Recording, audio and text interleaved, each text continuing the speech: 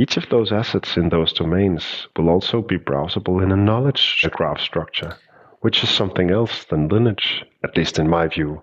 Some would oppose that and say that a knowledge graph is also lineage. I don't think it is, because the knowledge graph really tells you that this asset is linked to this asset. That is a term or a process or whatever you want. It's totally free, right?